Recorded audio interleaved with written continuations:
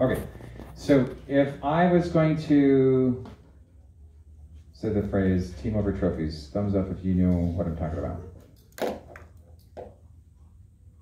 Okay, try and describe it to your friends for a second. Ready to go?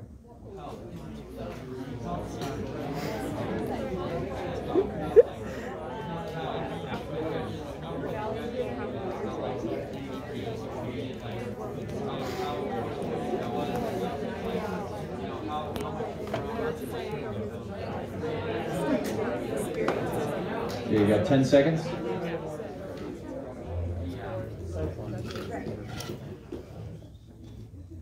Okay. So let's say this is me, and how big the thing is, is how strong. Okay? And whatever we're talking about. We could be talking about how smart you are, how much money you make, how pretty you are, how tall you are, how good your band is. It doesn't matter. Whatever we're talking about. If we're doing the comparison game, we circle this much, so this is who we're comparing in the thing.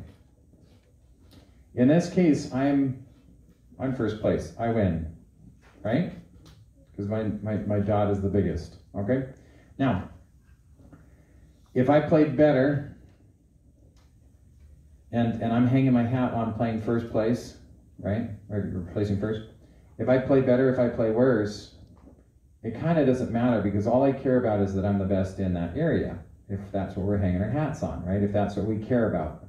The problem is if you get into a larger, if you get into a into a larger um, group, if you if you choose a larger group, eventually you're going to find somebody who's better than you. It's just how it is. There's always going to be somebody on the planet who is richer than you, or smarter than you, or taller than you, or, or better looking than you, or their band's better, or whatever. Eventually, you're going to find somebody. And if if you have to be first, to be happy, can any of you see how this breaks down? I mean, it, it's really easy. It's really easy to find some somebody else who, who's going to beat you. You just need to draw that circle bigger or bigger or bigger. And, it, and okay, so now he's he's better, and I'm really super competitive, and so all I care about is being better. And so I practice a ton, or my band gets better, whatever. And so now I'm bigger here. But if we expand it out eventually, we're going to find somebody else that has, you know, 10 times the amount of money as we do, or whatever else, or, or whatever circumstances, or they just worked harder, or they've been doing it longer, and they're going to beat us. So I think it's really important that we understand, really, just a fundamental, it's not just like, you know, just in the plastic. Because, you know, a piece of plastic is kind of, you know, kind of meaningless. I guess you could have some symbol, symbolic meaning to it, but I don't, I don't carry a whole lot of weight. It doesn't carry a lot of weight in my mind. But the big thing is what we're talking about here is comparison. And that's where the thing breaks down. Comparison is the thief of joy. Thumbs up if you get what I mean by that. Comparison is the thief of joy. Let's say that I am comparing myself with some other trumpet player. I can list, I can give you a list of trumpet players in the state that are better trumpet players than me. It's like just straight up, better trumpet players than me. Do you want me to give you a list right now? Uh, no, I think that's not helpful. I think that kind of is the opposite of what we're talking about here right now. But I would say at the same point, um, if if we're still pushing hard, you could make an argument that maybe I prioritize with other, like in, in some other way. Does that make sense? So um, I, I know people I could get, I mean, tons of people that, that make more money than me or whatever. You know, like, because a lot of people, that's one of their number one things in life is, is make more money. I, I'll say real quick, this is a whole nother conversation, but more money does not make you happier. It, like beyond 70,000 a year, it makes like almost no impact at all on your happiness. So as long as you got food on the table and you're not worried about the next check, the happiness thing is not an issue. It's more about how you use it and how you look at it. But that aside, the comparison thing, if we're just talking about the comparison thing, the the the comparison is the thief of joy. So it's possible that um, I'm frustrated because so and so makes more money than me or whatever, but it might be that I've prioritized other things that do give me joy. And it's hard to keep all of those things in, in, in context at the same time. So maybe I've spent more time with my wife and my kids, and, and we have a more positive relationship than that, that other person who's got tons and tons of money. Does that make sense? So when we're comparing, we're just usually we're comparing a smaller sliver of, of all the different things that are happening. And so we don't get a, a big picture. And so again, it kind of comes back to this right here. Here, when we're comparing, it's a small sample versus a big sample. And so when we, com- we compare it, it's kind of a lie. It, it is a lie, straight up, because we don't have the full picture. And so it's false, and so that's why we shouldn't hang our hat on it. But it's the same thing when we compare on the other side of things. It's we don't have a bit the big picture. Like I'm saying, you look at the money side of things, but maybe the family life isn't as good, or whatever, whatever we're talking about.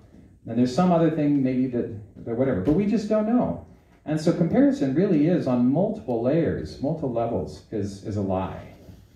And so if we hang our hats on that, we don't get anything out of it. Now, so so how how do we find happiness? Where where do we find happiness? I want you to think about it. Thumbs up, you got something, and I'll let you talk to your neighbor. Thumbs up when you got something. How do you personally like like real happiness? Not just the excitement, because that's legit. You know, if you get a trophy or whatever, that is exciting. I don't pretend that I'm immune. I, I try to parse through it and think about it. Okay, talk to your neighbor. Everybody go.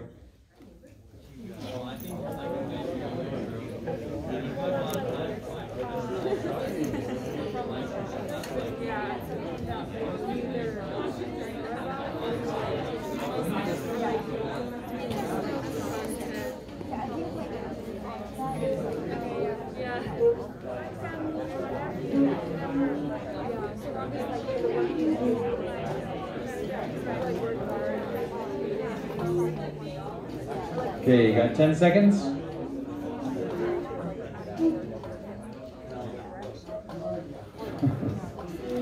okay, Hanuman, get set. I was trying to get a straight line. That's not a straight line. But imagine that this is a straight line. And imagine that this straight line is actually a path. And the path is up at the highest mountain on the planet. But this planet, this this this mountain goes and goes and goes, and this path stays at the exact same altitude. Does this sound familiar to anybody yet? Okay. So the altitude in this case is your your worth. Okay, so we talked about hanging your hat on something. Do I have do I feel like I've got self-worth because I just won this trophy or whatever? Okay? This is your self-worth. I need you to understand that this is how it works.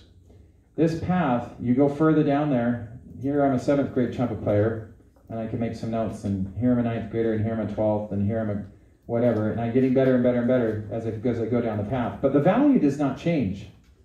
So a seventh grader doing his best versus a, a college person or a pro doing their best, regardless, or even somebody who's not doing their best, even if who's somebody who's moving backwards on this path, who's who's degrading, the value is is totally completely separated from our achievement. Okay? If you go further down this path, that's great. That's fine. But you cannot hang your hat on your value being determined. It cannot be determined by how far you're down this path. Yeah, so if I if I look, so I've been playing trumpet since what 1985 or something like that. I think 1985. It's kind of a long time. Uh, and so if I look at some seventh grader and I say, "Oh, that idiot plays so crappy," I'm better than him everybody on the planet would say, oh, yeah, that's stupid. Why would you do that? What a loser. But honestly, we kind of do that in a smaller scope, a smaller scale. So, you know, somebody's right here and I'm right here. I can say, see, look, I beat him out. Okay, even if there's not a trophy, but like you might even just say, you might even just compare, right? And you might just, nobody's out there with a trophy, and you just say, you know what, I'm better than that person and and so I have more value. But again, you need to remember that, that in truth, the value stays there. It's at that path on the top of the mountains, twelve thousand feet altitude, whatever, top of the world, and it never changes. Whether you're here or there, somebody might have been on the path longer, or somebody might have been pushing a little harder, or they might have allocated time differently into other things instead of that thing. And that does not change their value as a person. Do you get what I'm saying? So, um, how do we get how do we get um, happiness? In my mind, I think it's the change from here to here. You look back and you see that and you say, "Holy cow! I I did that. Look at that growth. Look how far I've come." And I think that that's legit. I think you can find value in that. And I think that's huge. And that's a healthy way to find value. The other part of it, I think, even if I, I'm not talking about it, let's say I'm, I'm right here right now and I haven't moved very far. I think the other one is the speed. Oh, I need another E. The speed at which you're moving. How hard am I pushing? How hard am I trying to grow? Does that make sense? I think you can go into um, let's say uh, I'm, I'm exercising or whatever, and I just worked really, really hard, or I'm currently working really, really hard. I'm working out, I'm pushing as hard as I can. It's painful, but I think you actually get some feeling of satisfaction and happiness and joy by pushing really, really hard. And the, and the second you, you're done with that, you're not any stronger. The second you just practice for an hour on this music and your brain is like beat, and right now you probably play it worse than you did when you started it will grow when you go to sleep and your brain myelinates the, the synapses and stuff like that that night. But at that moment, you haven't really grown. But the work that you that you that you do, the, the pushing that you make, that effort really does bring joy. And that's why people, when they go into retirement and they stop pushing, a lot of times they get depressed. It's a thing. Their whole life, they're pushing, pushing for retirement. They've saved up, and then they go live on the beach and start drinking their whatever, coconut drinks or whatever. they're sitting there sipping, and, and, there's no meaning to their life because there's no growth, there's no pushing, and that's why it, it's a thing. Why people when they when they get when the, they uh, retire, a lot of times if they really do retire, there's a higher rate of depression. So delta here, the change from this point to that point, I think that that brings joy. The speed that you're pushing, that you're pushing right now, I think that can bring joy. I think that you need to keep those things separate from your personal self worth. I think it, as a group, we need to be really, really careful not to hang our hat on this comparison thing. I'm going to tell you one story really quick, and then we're done. Okay? So this was at a competition, marching band competition, here in Utah, and um, this band, I watched their I watched their show, and it was really strong. It was one of their strongest shows ever, and they did not make finals for the BOA regional thing. Uh, they were like 11th or 12th or something like that. And and I had seen their show, and I had seen them walking off the field, and I could see they were standing tall and feeling good, and they were smiling. And I do understand that there was something they wanted, and they didn't get it. But just because of that comparison thing, all of their joy had been washed away. I was walking through there, and there were kids laying on the ground crying and consoling each other. It felt like a battle scene, like with dead bodies on the right and the left. I was walking through and like looking at these people just like like just like ripped to shreds mentally. And and this was after they had had their best performance ever, and they were glowing when they came off the field. Does that make sense? No, it doesn't. It shouldn't. I get it, but we need to try and get to the point where we where we don't get sucked into that. Does that make sense? So, anyway, uh, if you are in marching band or this is something for the rest of your life, I hope that you can kind of grasp what I'm talking. I hope you believe me. If you are in marching band, I need you guys to try and promote this um, with your peers. We need people to to be to be positive. Okay, so I'm, I'm hoping that we don't ever get to the point. Yeah, we beat so and so. I don't ever want to hear that. Like, like, holy cow, we just we just played awesome. That's that's what I like. So, yep. Me personally, with like the always getting better than people, I don't like relate it to self worth. I relate it to like bringing a new challenge, like always having like a challenge, and like I find joy in trying to rise up to the challenge. I find joy in growing, and and if I see somebody that I want to emulate and I catch up with that person, I find joy in that. But I don't think that that is hanging my hat on. I think you're right. I think we're not talking about the same thing. Does that make sense? Because you can see, like, man, I want to be like that person. And if I catch up with that person, I think that's a good thing. I think that's a really positive thing because it's the growth and it doesn't mean anything about tearing down the other person. And, and if you pass them up, whatever, but hopefully we can get that joy regardless of where you pass them. I know, but with like passing someone and you said there's always someone better. I feel like if you pass them, then you're looking. Then I feel like I'm always looking for the next person to like match up to to always improve myself. Oh, you're saying so that like the joy isn't there because you haven't reached it because the thing that just changes down the, down the road.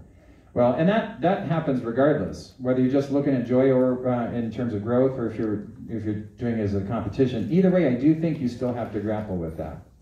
So because you know you reach a goal and then you have another goal and you have another goal, and if you ever stop growing, I think that's kind of boring. I, I think that's you know kind of pulls you down a little bit.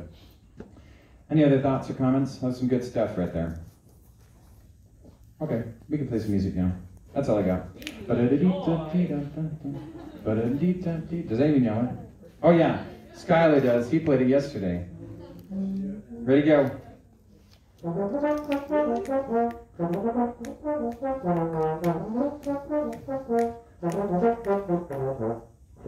Okay.